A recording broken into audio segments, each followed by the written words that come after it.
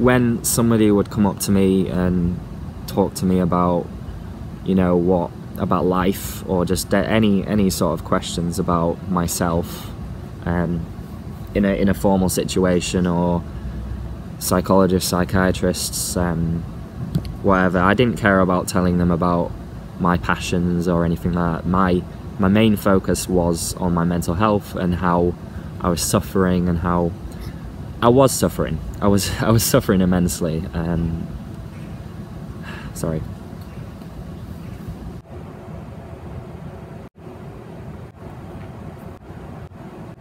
Boo! Hello, what's up, people? I've got a hood on today. Should I keep it on? I don't think so. Doesn't really go with my vibe, does it? Yo, I like weed and gangsters and cigarettes and oh yeah, this all, all I'll be for life. You know what I mean? Oh yeah, I love being in the hood with the gangsters. We're we're killing each other and getting those drugs off each other. You know what I mean? Yeah, yeah. That's all I live for, mate. That's my narrative. That's my narrative, mate. Apologies for that, guys. It's a very poorly drawn sketch. As you can probably tell, I'm a little bit bored from doing some work. No idea why you would know that, but maybe I just think that everybody is me. What am I talking about? anyway, uh, welcome back to another video. Today, I have got my camera propped up, so I'm not constantly moving it about, and I'm moving about now, so I'm kind of defeating the purpose. So, oh, it's on an angle. Stick. Stick.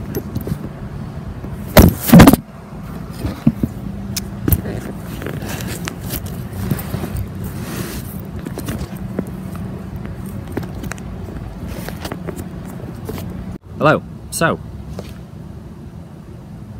stop moving. Today we are talking about your narrative. Now, you may be thinking when I say narrative, like as a narrator for a story or something like that, or if you are um, somewhat familiar with that word, a narrative is sort of the the life story that you you give to yourself when you think of yourself and where you've come from. If you were to write down your experiences and stuff, that would be your your narrative. I could be completely wrong with this, but this is how I um, how I picture what a narrative is.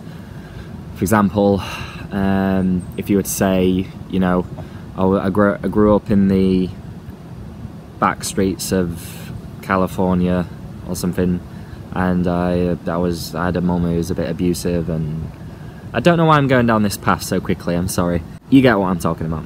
Narratives are the story that you tell yourself and the story that you tell to others um, that make up a significant part of your personality and what you do.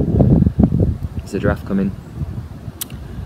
And these narratives can be very important because they shape who you are, they shape most of the things that you do because you, you take them as very significant, significant parts of your life. One of the issues with growing up is you're under the, the uh, preconception that you have a personality or you have some someone that you are that you truly are. Obviously that's one way of taking it. My experience with life and trying to find out who I was, it didn't come from finding who I was. It more more came from making myself what I wanted to be. One of the pitfalls that you get from having mental health conditions, having depression, um, having anxiety, having any kind of negative thing in your life is that you make that a very big part of your story and it, you make it a very significant part of your story.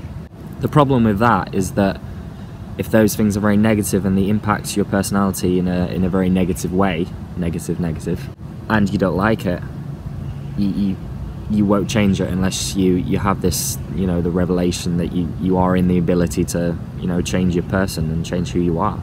So this this topic kind of comes into the the whole personal growth, self growth kind of thing that's that's going a lot around a lot, and it's a very positive thing because changing your narrative can be a very important step in overcoming some mental health conditions.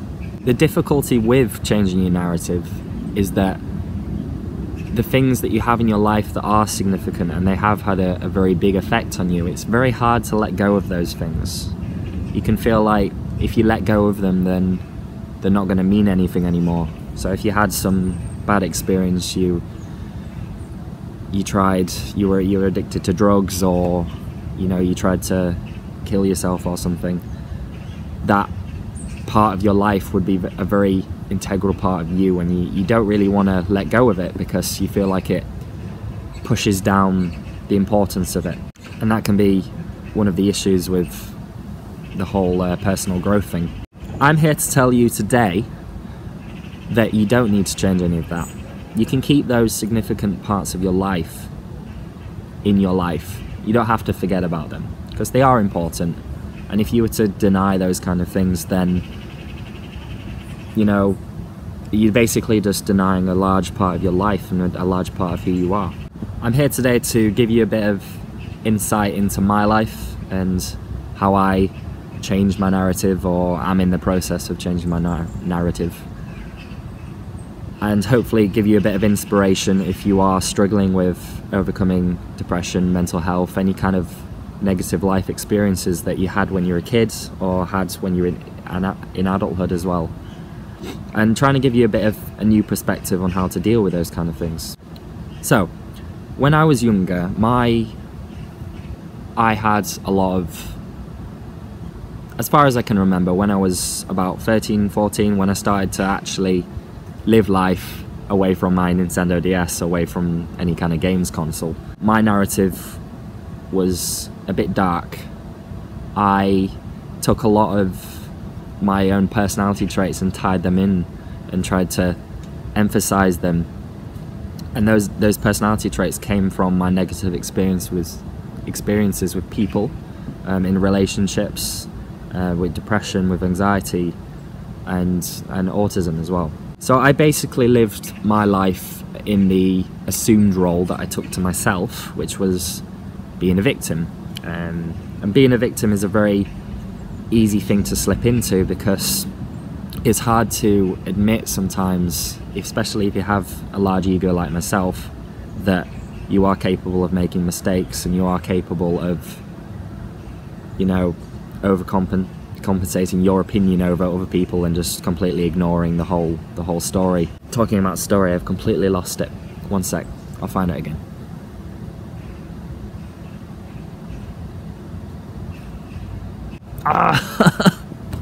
Basically, in my head for most of my childhood, up, until I was about 16 or 17, my narrative was my. I saw my future not as something spectacular or happy. I saw my future as pretty a pretty dark place. I was sort of trying to it sounds really horrible saying it on camera, and I want to be as truthful with you guys as possible because I value a lot of a lot of a lot of you. Like I value you all, and I'm sure you value me being truthful. But a lot of a lot of my my life, especially when I was younger, I was I was expecting that I was going to kill myself, um, and I tried multiple times over the a few years and I expected when I reached adulthood and I made a decision about it and I knew how to do it, then um, I would do it. So some of the self-sabotaging things that I would do is trying to make myself lonely, try and isolate myself, you know, be off or mean with friends and family and relationships in order to try and fulfill that narrative that I had in my head, which is obviously not a great thing, but when I was that age, I, I, did, I didn't care. When somebody would come up to me and talk to me about, you know, what about life or just any any sort of questions about myself, um, in a in a formal situation or psychologists, psychiatrists, um, whatever. I didn't care about telling them about my passions or anything like that. My my main focus was on my mental health and how I was suffering and how I was suffering. I was I was suffering immensely. Um, sorry. But the point is is that I was not doing it any good because I had already made up in my mind that I was going to do it. Fast forward maybe a year or two, um, between maybe the age of 18 and now, sort of made myself get over that whole victim, sorry, that whole victim thing. Get over the whole expecting to be dead and expecting to have a, you know, a big media board comments like this person with autism suffering with depression has killed themselves or something like that. Um, I've given that up. My my new narrative, my, my honest narrative these days is that I want to help people. Um, I've I've become a bit more accustomed to accepting that people can be similar to me, which is something that I struggled with because I didn't, especially as a kid, I didn't feel like I could connect with anybody, even like my relationships, my my, my family, my friends. I I always just had this thought in the in my back of the head that I feel like I'm pretending to have these connections to some degree. And once I got down to it and I was on my own, I could go back into my own world of just, you know, being completely alone, which is how I felt most of the time. Once I tried to. What the hell is that? Once I tried to connect with people and I actually felt like I am sort of similar to other people. I thought about it a lot more, and a lot of my thoughts started to become less about the pain that I was going through and more about the pain that you know other people could have. Because if people can be like me then obviously people can experience maybe the same amount of emotions that I felt when I was a kid and same emotions that I feel uh, nowadays as well that was one of the big like the really big steps that I had to take.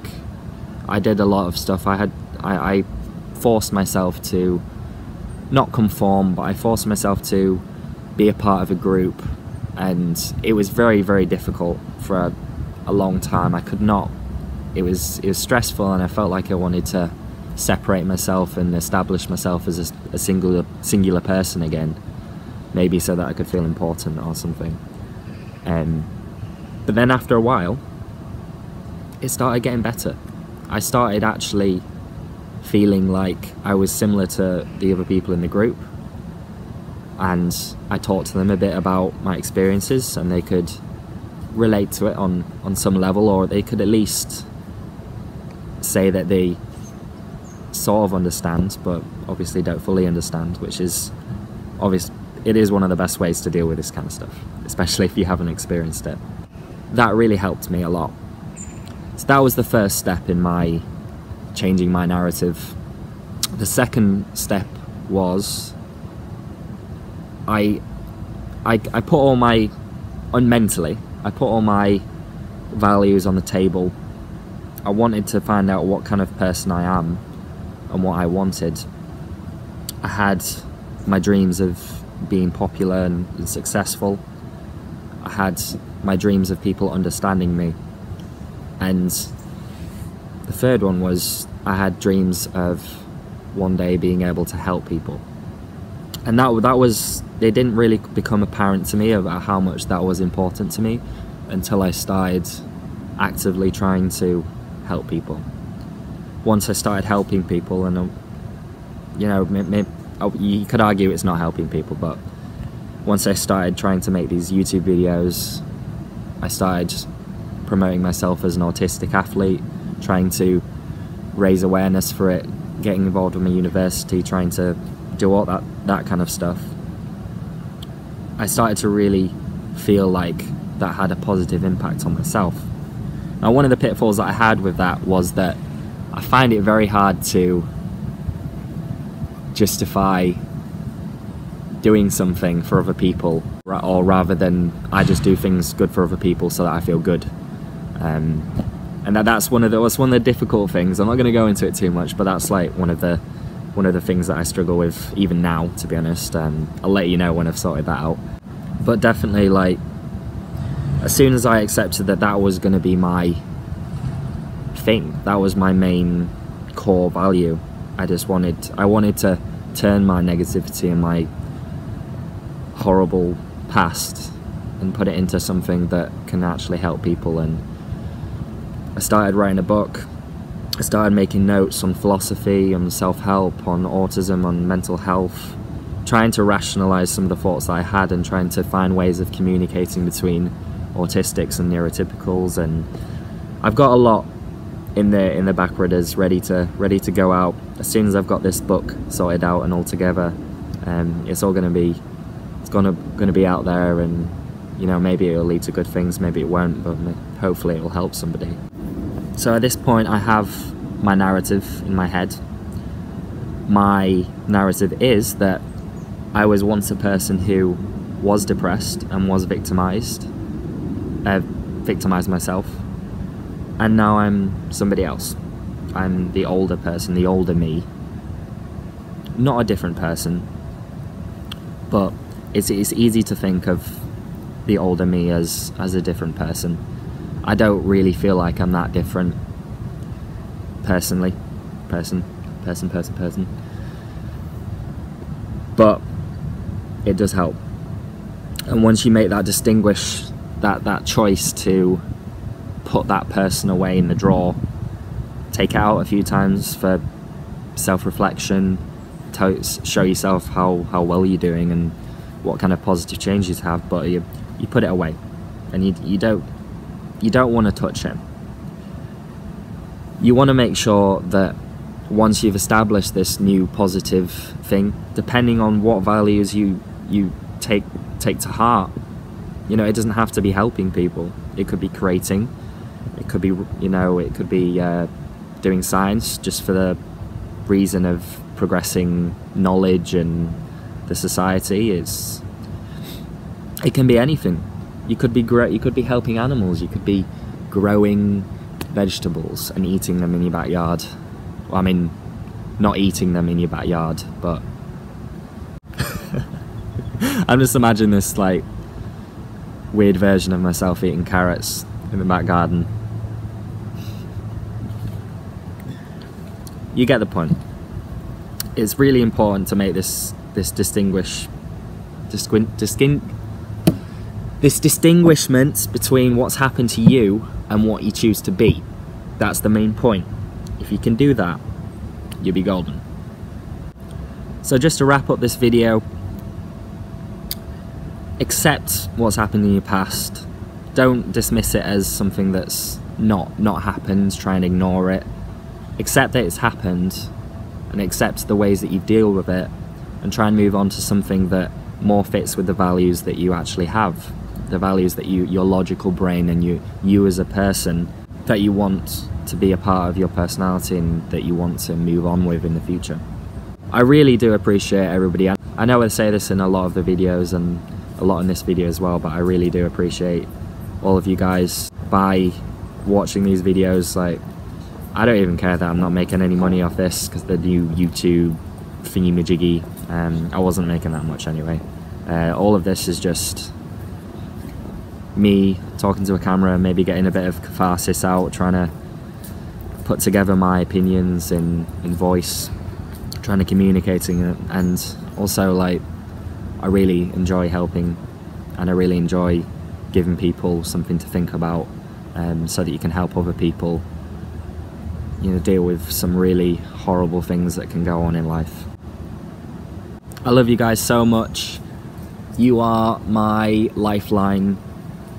Just any comments, like they always just give me a smile. I really love just reading them and commenting on them, and I hope I can keep that going for as long as I can. Um, and then another another side of me is also I want to be famous, but might be a few few years or so until that happens. But anyway, Love you guys. You're golden. Make sure to like and subscribe. I told myself I wouldn't do that. I told myself I wouldn't do it. So forget that. Put your comments down in the in the comment section. Tell me about your experiences. Tell me what you think of the video. You like it, you hate it. You're eating some chips right now. I don't know what some people feel like sharing with other people is um, abysmal to me. And I'll see you in the next video. I don't know how to end these things.